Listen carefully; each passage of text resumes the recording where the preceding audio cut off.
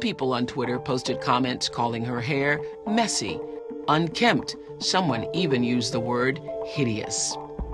The hair controversy spread like wildfire and became national news. Many people in the African American community have taken to Twitter to insult Gabby Douglas's hair. It was trending on Twitter, these conversations about Gabby's hair, and people are literally tweeting about her pulled back ponytail.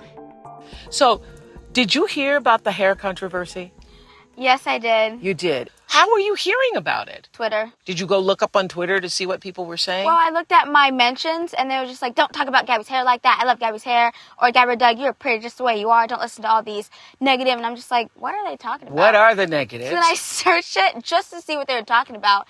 I put Gabby Douglas and then first says Gabby Douglas hair, like the first one on Google. was Gabby Douglas hair? Yes. And I'm like, what are these people talking about? Oh. I was so confused, but I don't want to focus on the negative. Okay, but I do. So let's uh let's let's finish talking about it cuz I think that is so sickening.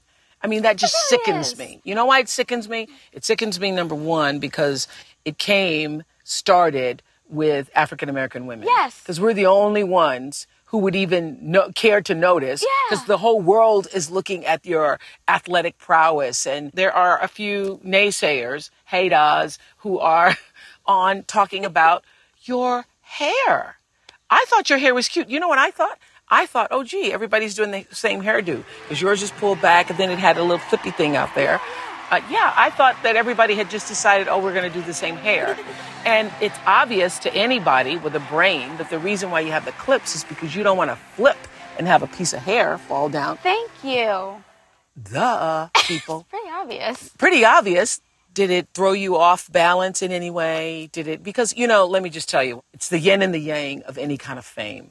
It's as you rise and people think you can't do it, they're rooting for you. The moment you do it, people start, you know, it's like crabs in a barrel. Yes. What can we do to pull you down? Yes. And I have to say that in the beginning, for myself, coming from African American people, it would hurt.